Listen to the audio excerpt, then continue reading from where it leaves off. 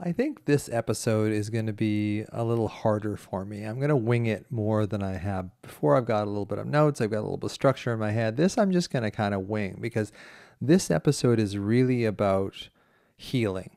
It's really about deep, deep healing. And we do that by becoming grateful for the anxiety, becoming grateful for the alarm because we change our neurophysiology when we become grateful. And it's not positive psychology. It's not like, oh, think happy and you'll be happy. It's really about this alarm is your younger self. This alarm is the activation of your younger self when you split from yourself, when there was trouble in your household, when you went through trauma as a child and it wasn't resolved by your caregivers. So it's still in there. You're still holding it in there that alarm is your conduit to that younger child that's still in you. Your younger self, inner child, whatever you want to call it, it's still in you. That child is still in you. And it's finding that child and being grateful for them instead of pushing them away because when we feel the pain that they carry, we push them away that's basically why it's gotten worse. Because if you push a child away, if you think of that, if a child is upset and you push them away, what's going to happen? Well, they'll do one of two things. They'll either shut down completely, which I think we've all been there, or they'll get very, very activated. They'll get very, very alarmed, which I've been there too. I'm sure probably you have too. So it's the combination of the alarm in our system and the shutdown that creates this angst in us, this sense of lack of grounding, this inability to soothe ourselves comes from this child that is still in us, that is still alarmed. And until we find that child and show them that they are seen, heard, loved, and protected, we're always going to be anxious because we're always going to be operating from that sense of alarm that is still in that younger version of you, is still in that inner child state. And I really hesitate using that term inner child because it s- sets people off. And I think one of the reasons why it bothers people is because they have an inner child that is upset. So they don't even want to deal with it. And I think that's how we become chronically anxious is that we keep pushing this child away from us and we don't allow their person to come into our environment. We grow up as adults by pushing this child away, but the alarm is still there. The pain the child holds is still there. We can shove it down. We can do what Freud calls repression. We can shove it down into our unconscious mind, but it will show up in our body, and it shows up in our body as alarm. And that's what I wrote the book Anxiety RX about because this is what happened with me. I had this alarm from growing up with a schizophrenic father and it never got dealt with. Never, really. I mean, I talked about it in therapy for hours and hours and hours and hours and hours and hours about my dad and how he did this and how he did that and he didn't meet my needs and blah, blah, blah, blah. Didn't do anything. It didn't it didn't get me to a place of healing. What got me to a place of healing is realizing that child is still in me and how do I see him, hear him, love him, and protect him, and show him that he's seen, heard, loved, and protected? How do I do that? And we don't do that by pushing the alarm away. We don't do that by drugging it. We don't do that by falling into our addictions. We don't do that in any other way but choosing to connect with this painful part of us. Now, this is hard. This is difficult work because when you feel alarmed, all you want to do is get out of alarm. And I'm sure that's exactly how your child felt when they felt abused, neglected, where they had to mature too early. They had to become the man or the woman of the house too soon. Like these alarms in us form because we don't have anyone to talk to. We don't have anyone that'll help us assuage these alarms we have alarm because we had these childhood situations that were unfortunate, uncomfortable, painful, abusive, whatever they were, and we didn't have an outlet. So part of us is still trapped in there. And if you look at the way the, the brain works, the amygdala, the amygdala has no sense of time and it remembers everything. So your amygdala remembers all your traumas. Whether or not you can consciously recollect them yourself, your amygdala remembers everything. And it's still in you that alarm is still in you. So if that alarm is still in you and it's radiating up into your brain and it's creating these anxious worries, which is basically my alarm anxiety theory that the alarm is in our body, this unresolved trauma is in our body. And the brain reads that trauma, it reads that energy in this process called interoception, and the brain makes sense of that trauma by making what ifs, warnings, worst case scenarios, in other words, worry. It makes up worry to make sense of this alarm in our system. And that worry forms a distraction.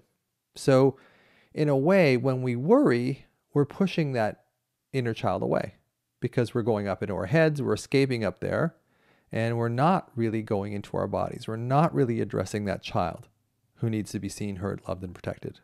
We're not. When we go into our addictions, when we zombie scroll Instagram or get into shopping or porn or whatever it is, we are pushing that child away. And when I say be grateful for your alarm, it's a beacon to that younger version of yourself, that alarm in your body, because we repress the negative energy into our unconscious. And as the body is a, a representation of the unconscious mind, the body keeps a score, we can find that alarm in our body. Now, once we find that alarm in our body, can we embrace it instead of pushing it away? And I've used this analogy before too. If you have a child that's coming up to you in a grocery store because they lost their parents, their hands are up in the air. It's like, can you pick me up? Can you soothe me? Can you comfort me? Of course, you'd probably do that. But for some reason, we don't do that for ourselves. And I think this starts very early in childhood that futility, that sense of alarm, that sense that we're helpless and powerless. Because when we do experience alarm, abuse, loss, abandonment, rejection as children, we don't have anyone to tell and we don't have anyone to help metabolize this. So that energy stays in us. So to heal, we have to go back and find that child. And this is what I mean about being grateful for the beacon of alarm because that's the conduit to our younger self. It hurts. It's hard. I do this virtually every day in the morning when I wake up in this sense of alarm, when I wake up with alarm. I have to go in and connect with that younger version of myself. I have to put my hand over the alarm, which in me, as many of you know, is in my solar plexus.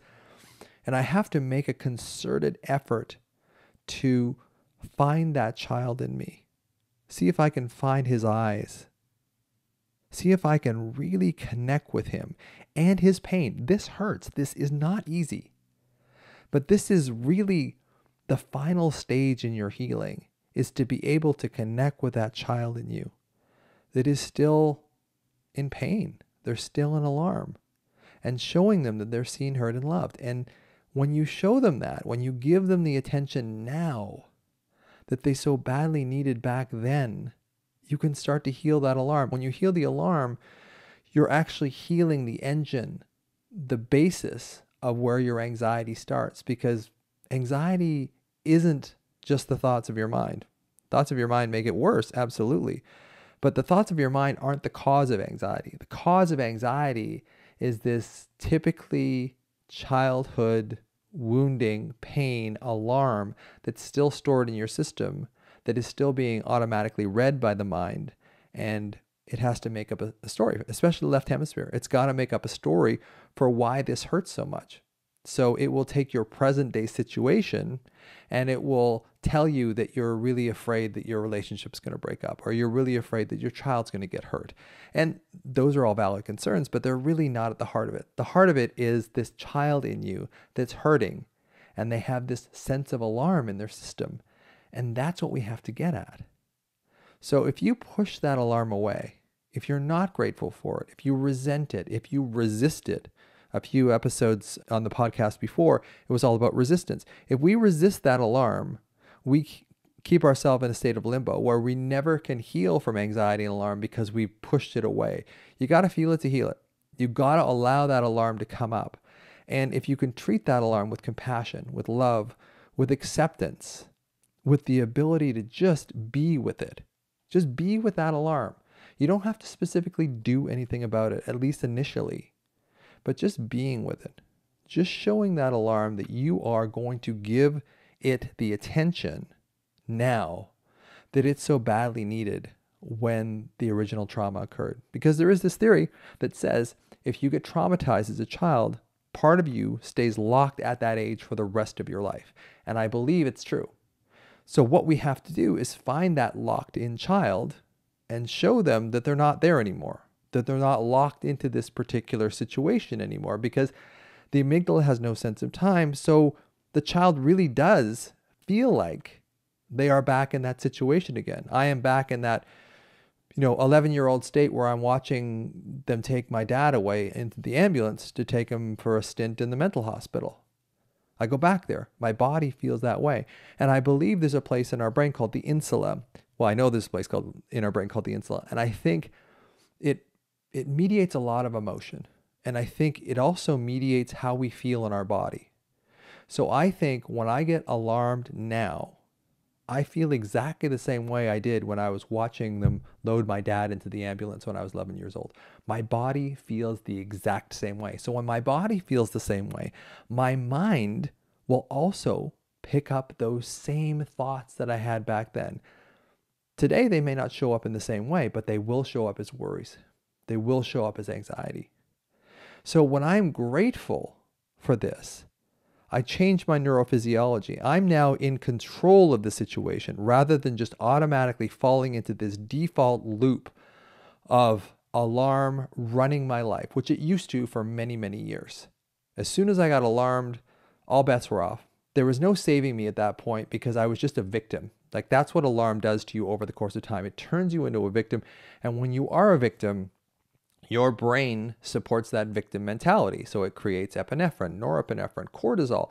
It creates these stress chemicals that, of course, make you feel more stressed. And on top of that, it paralyzes the rational part of your brain, the prefrontal cortex, to the point where you can't rationally move yourself out of worry because the rational part of your brain is shut off. So not only do you make more worries when you're in this alarmed state, but the part of your brain that would tell you that these worries are unfounded, they're unlikely to happen, has been paralyzed. So you make more worries and you believe them.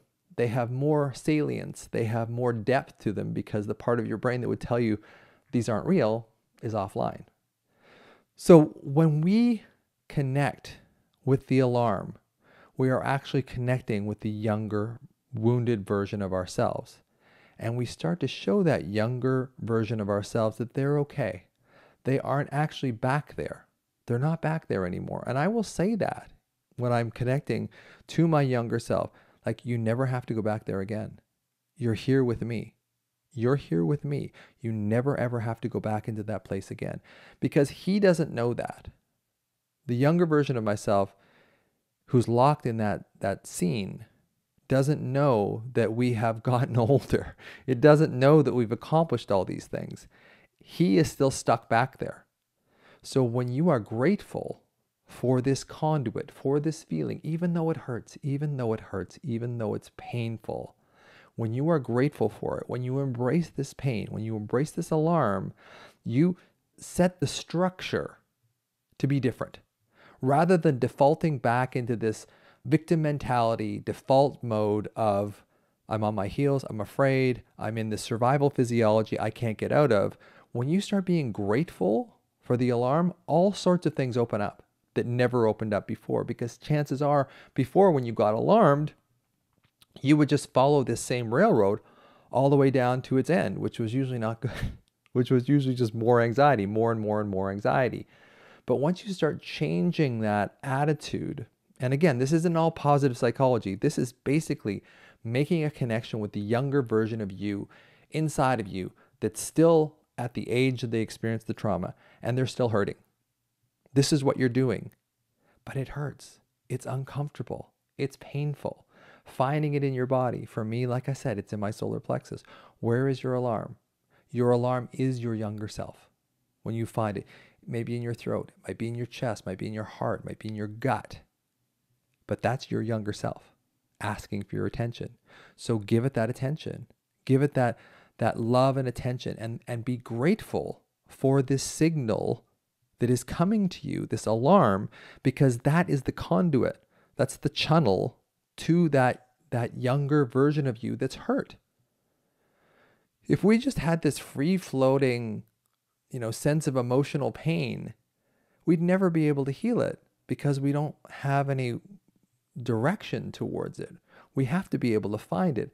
And that's why I'm grateful for finding the alarm in my body. And I get everybody that I work with to find the alarm in your body.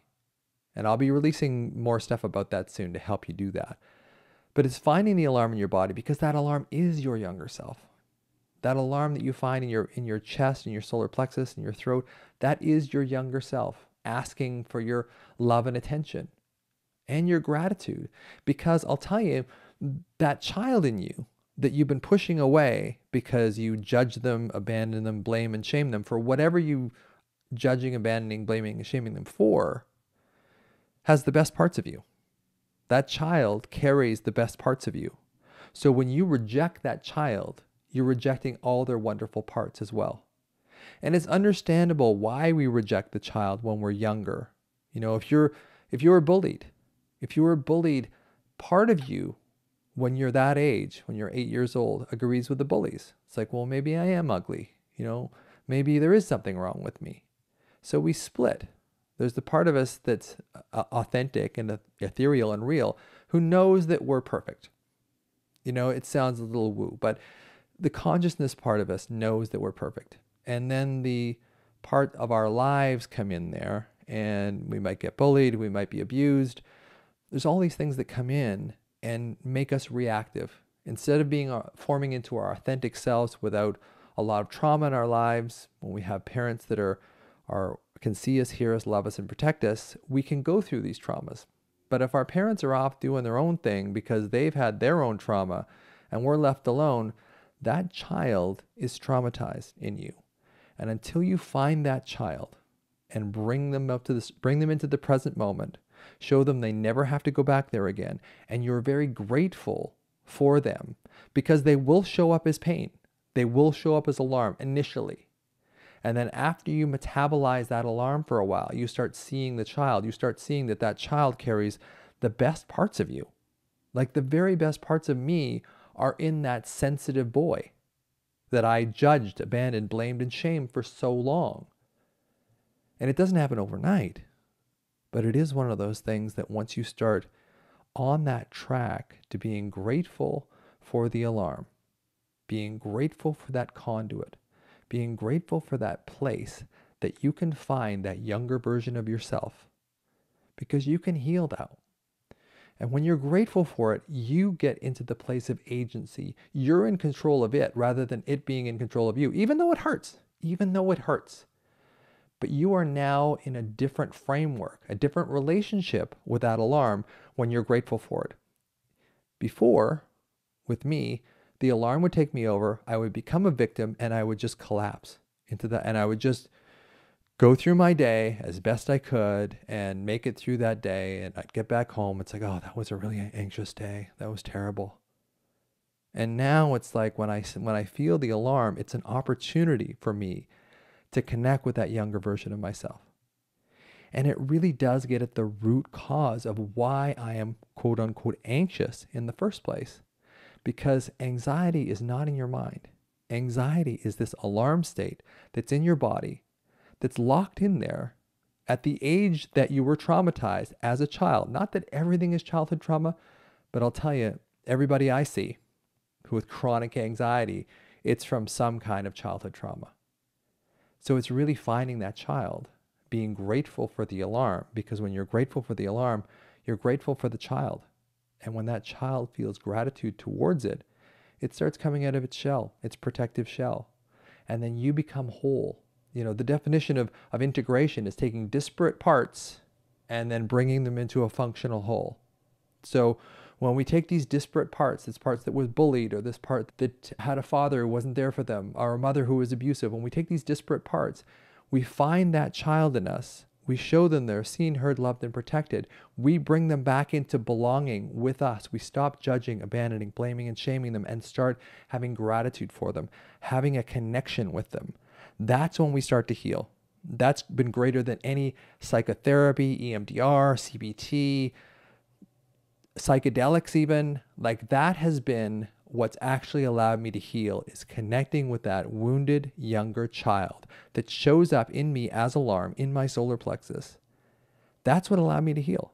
That's what's really allowed me and, and to continue to heal and to really appreciate that child in me that carries the very best parts of me, but he also carries my pain. And that's okay. So here's what you do when you feel anxious, or what I call alarmed, search for it in your body. Find it in your body. As I said, I'll be creating more material about this over the next few months, but see if you can find that sense of like burning or pressure or pain in your body when you feel anxious. Instead of going into your worried mind, start going into your body and see where you feel that. And if you can localize it, you can find it in your solar plexus or your belly or your throat, put your hand over it, connect with it. See if you can find that younger version of you. See if you can find their eyes. See if you can look back and find your eight year old self or five year old self or whatever. See if you can find them and connect with them. It may hurt. It probably will hurt. But this is how we heal.